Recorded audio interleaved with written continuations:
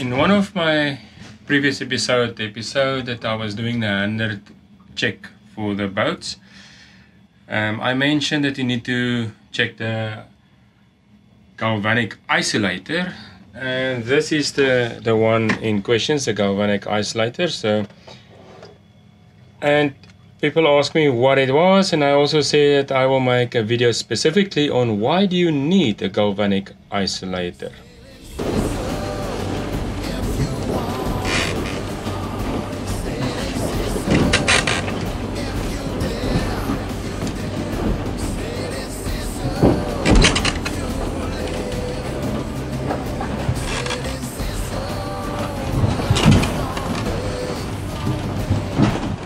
So for us to understand why we need a galvanic isolator, um, I need to maybe go back to a little bit about noble metals and least noble metals. So noble metals, a noble metal, if we go back maybe even before that to an atom level, atoms is consisting about neutrons, which are electrons is running around, neutrons and protons, which make the, the, the, the core of the atom, and then around it is spinning all the electrons.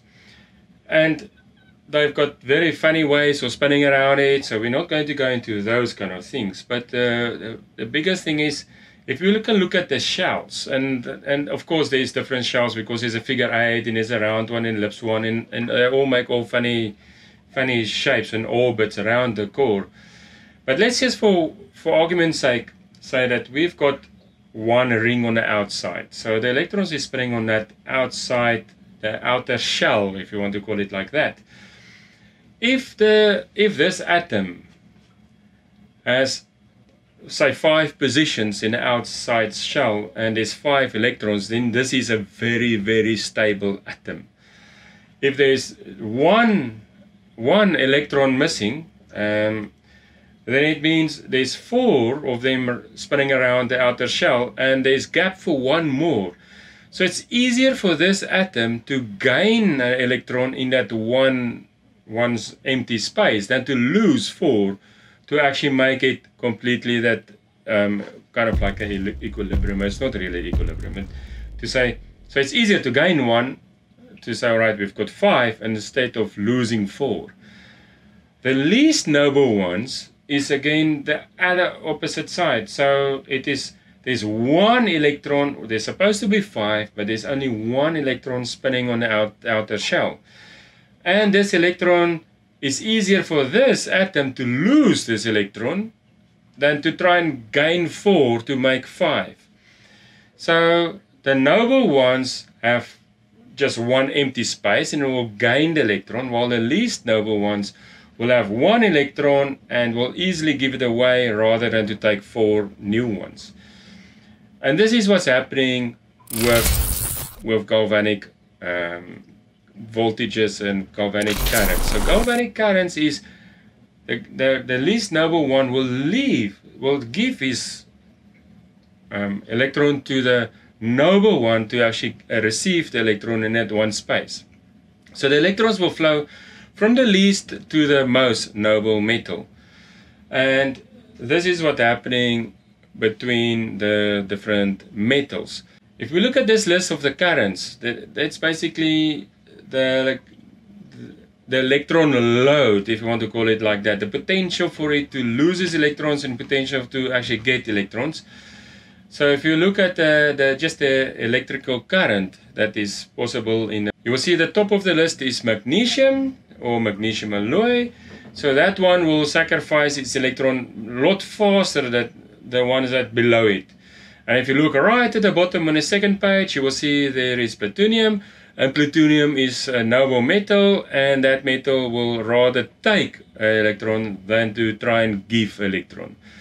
So if you look at this list, it is actually in that priority. The top ones will sacrifice themselves for the ones below them.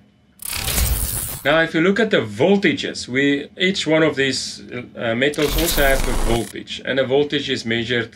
There's a neutral way of measuring the voltage for each one, and this is the galvanic voltage that we're talking about. So again, the, the least noble ones on top of this list will have a negative voltage while the platinum has kind of like almost not really high positive voltage but there's a voltage.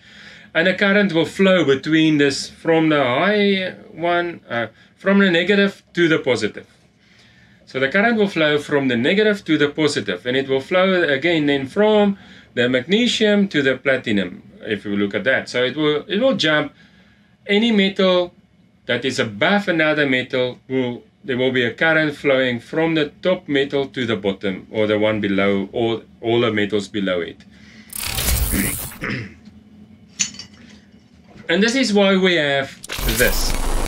So this is a magnesium alloy for the sail drives. If you can look at that, this is a sail drive um, uh, anode and we call them anodes because these guys will then easily release its uh, electrons instead that your propeller, for example, will lose the electrons and you will actually basically lose your propeller because this one is sacrificing electrons and the more electrons it is sacrificing, the more material and deteriorating the, the, this metal will start deteriorating. So this is the reason why we have these things. So again, why do we have then a galvanic isolator if we have already nice sacrificial anodes that will actually give itself for the more noble metals. The thing is, if you are going to be connected in a marina to shore power,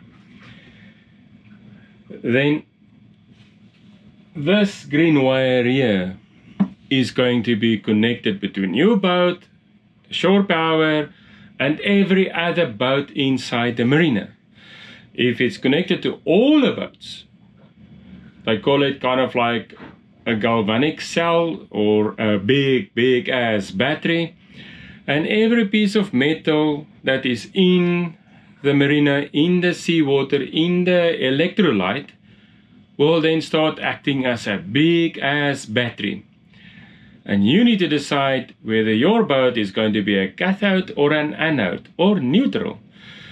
If your boat as a least noble metal like the anodes, the sacrificial anodes, or a brass propeller and the other guy has a stainless steel propeller, then the stainless steel, because it's on a higher, uh, uh, it is a more noble, so it's lower on the list, and your propellers is brass propellers or something like that, and it's higher on the list, or your galvanic insulators or the sacrificial um, magnesium alloy that you're going to use, that is going to be then the least noble metal. So the guy with the stainless steel propeller next to you will become the cathode and you will become the anode and all of your metals will go into the water because it releases the electrons towards his stainless steel propeller. So you need to protect yourself against that. So that you not become part of this battery. If you're part of the battery, you will either be a cathode or an anode. And if there's any steel boats around you that are stainless steel in the water, then you will become the anode. And this is why we have a thing like this. Because this thing is creating a big gap between your earth and the marina earth. The thing is, if you look at the this this green wire, this is earth. And you need earth. Every boat needs earth if you have 220 volts. If you have 220 volts, then you need to have this green wire wired in. Otherwise, all of these little switches here will not work. Uh, this is the circuit breakers and things like that. Um, so you need a circuit breaker to actually detect that there's earth leakage and you also need the earth leakage. And if, if that has been detected then it will trap and you will be saved from electrical shock. You, you will get a shock but you will not easily die if this thing is in place. So this is why each boat need to have a green wire. Now if you look here there's a gap in between. So if this device doesn't work anymore for example, if, if, if the diodes is breaking or something like that is breaking, then there will be this big gap between uh, the shore power earth and your boat's earth, which again brings you into a lot of trouble. So you need to make sure that your your galvanic isolator is adhering to a lot of safety boards and have the certifications for that and so on. Because if this one break, you want this earth still to be working. In a case of the ProSafe, I think they're using also uh, a capacitor because uh, the AC current is moving up and down, up and down, and because it is alternating, it will also the the, the capacitor, the, the plates will actually follow each other, so the, the current will still go through, and you will still be protected. But this one is working with two diodes and also a capacitor. So two diodes in series going one direction and two diodes in series going the other direction, so that the current can flow in both directions. So why do you use a, a, a, a diode? A diode is, for it to start flowing, is 0.7 volts. Then the current starts flowing. So at 220 volt, this one is perfectly working.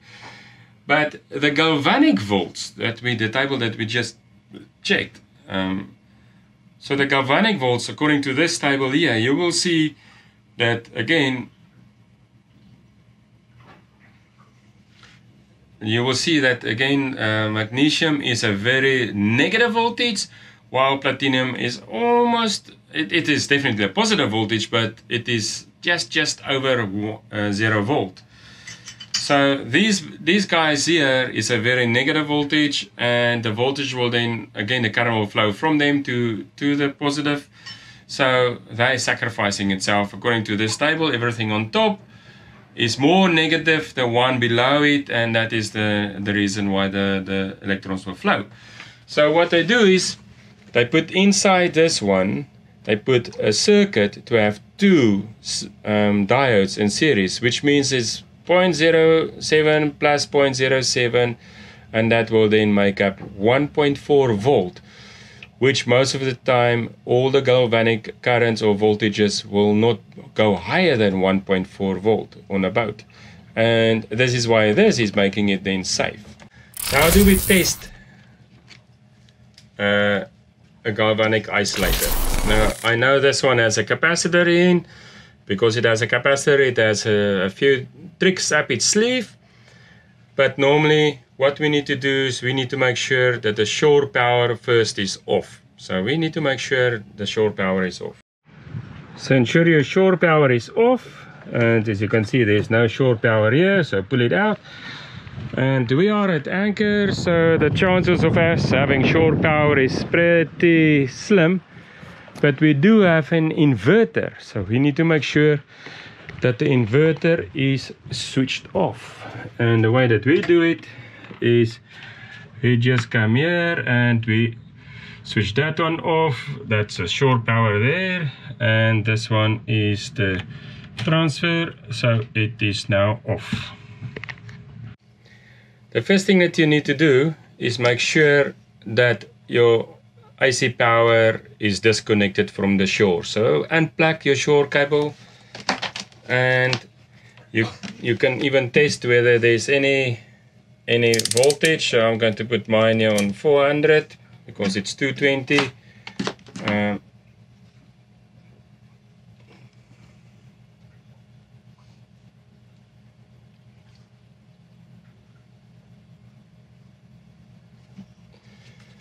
so I'm just going to I, I'm on anchor but you can you can also do it. You put it here on uh, 300 volts volt AC and then now I can measure between this point over here and that point and it is zero. I can go to my neutral and I can also see it is zero.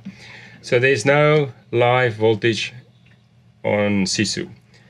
And it's very good. Okay so we off shore power.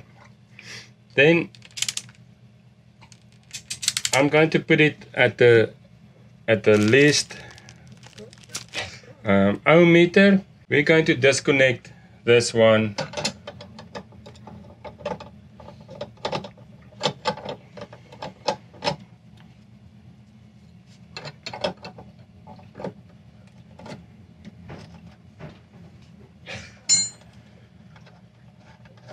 going to disconnect. This one from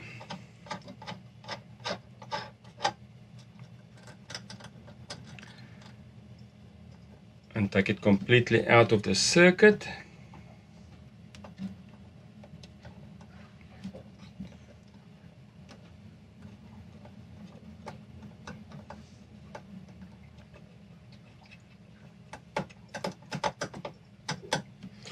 One of the requirements is, is that it should be a ring and not a friction thing. So now this one is out of the circuit. I'm going to switch my, my voltmeter or my multimeter to the lowest voltage, uh, to the lowest resistance. I switch it to the lowest resistance. And now I need to I need to check this. And you will see there's a brief moment when there is something and it just jumps up very high. So this means we've got uh, a galvanic isolator uh, device on this boat. If it was not and it was, it will go down to zero or very close to zero. If you measure between this, say, uh, this green wire over here on this side here and you measure your your shore power wire and there's there's no resistance then of course there's a problem. But if you measure and it is like this um, like that then it will go to zero. The moment it goes to zero you know that you're or very close to zero then you know yes you're there is no galvanic device on the boat. Okay since we do have one we know now we have one we can actually see it so I'm going to put this device now on the it is called the ohm testing. So you can see it's a little diode and it has a little beep. And if there's a short circuit it will make a noise. Okay so let's see the reading over there. I'm going to it is now set for if you look here it is set for diode. So it makes the noise if it's a short circuit. And if I press it over the 2 you will see it it has already a reading and it goes to zero. And that means there's a capacitor inside there. We can reset the capacitor. So we reset it by short circuiting these two things. And then now it will briefly start and it will count up. And it's testing now the diode. So the diode is is that is basically millivolts that you see there. So it's 300 millivolts, so it's 0.4 volts already. And a diode normally start conducting at uh, 0.7. Because we have two diodes in here, it will start conducting at 1.4. If it doesn't, at basically 1400. If it doesn't start conducting at 1400, then and it climbs to say 1500, 1600, you need to um, release, like let it go. Otherwise, it will it will maybe damage it. So let's see how far this one is going. One three, uh, one three three, one three three seven. So it goes all the way to. 1.337 which is very close to two diodes in series that is 1.34 volts at this moment so it's 1340 40 millivolts and this is how many? 1.3 volts. Okay so I can now exchange. Remember the the black was on top and the red was at the bottom. So if I exchange now the two it will count down down down. Or what I can do is I can just short it. So the capacitor is now shorted so we will start again from zero and it will count up, up, up, up, up. And hopefully it will stop at 1.4. Let us see if it's going to stop.